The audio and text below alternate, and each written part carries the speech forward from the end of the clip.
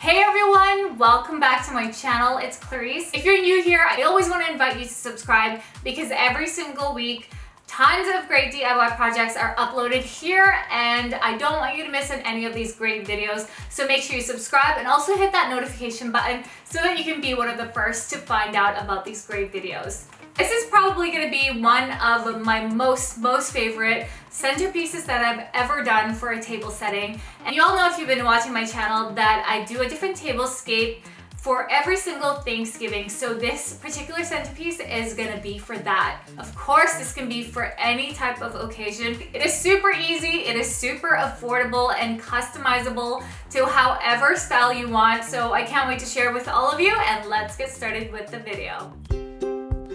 Before we get started, I wanted to let you know that this video is sponsored by Transformer Table.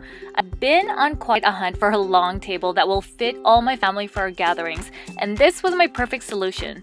I really love this table because it seats 2 to 12 people comfortably, and all you have to do is add or take away as many panels as you want. And that bench! This bench is also super useful when I have tons of people over and so versatile. My favorite times are family dinners or games night and these two together are absolute must-haves. Check out the description box below if you want to find out more about the transformer table.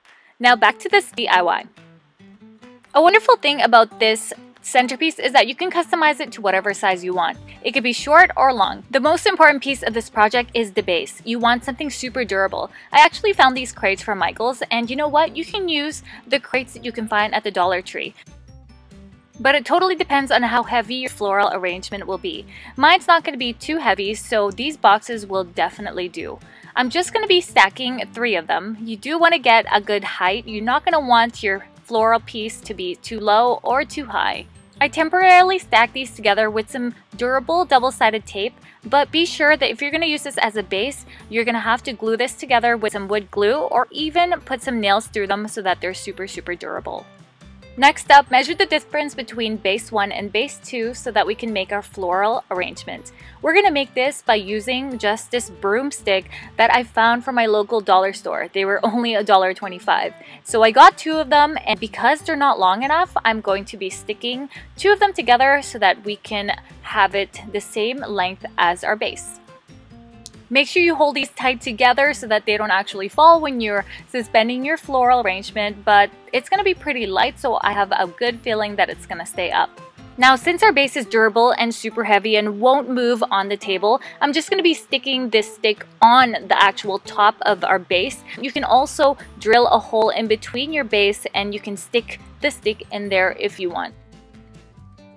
But first we're to have to make our actual floral arrangement. I'm to be using these zip ties that I got from the dollar store also to be attaching this greenery that I got from Michaels. Now you can use real plants or you can use fake ones. It doesn't matter. It's going to look good either way.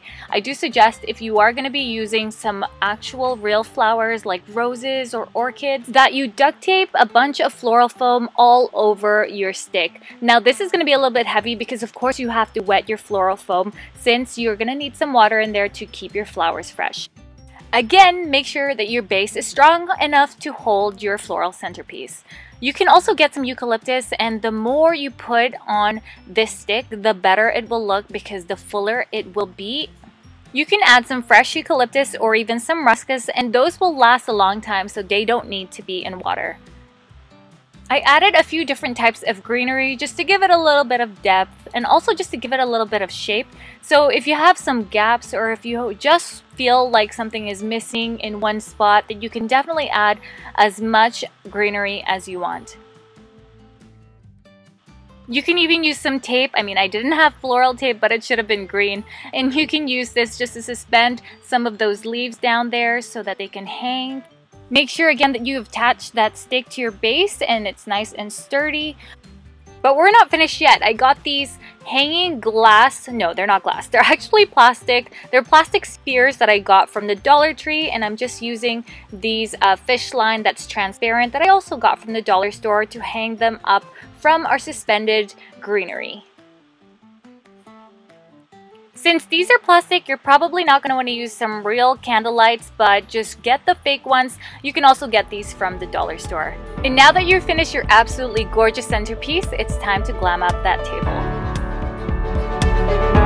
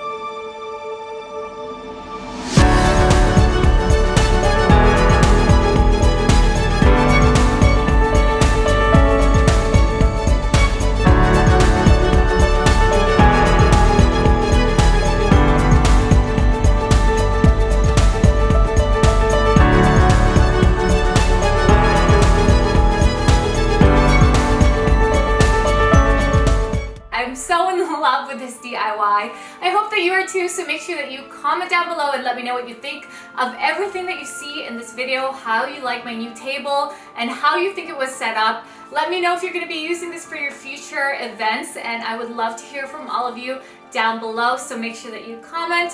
Give this video a big thumbs up if you loved it. And most of all, if you've fallen in love with this video, hopefully you can subscribe to my channel, and I'll see you all in the next one.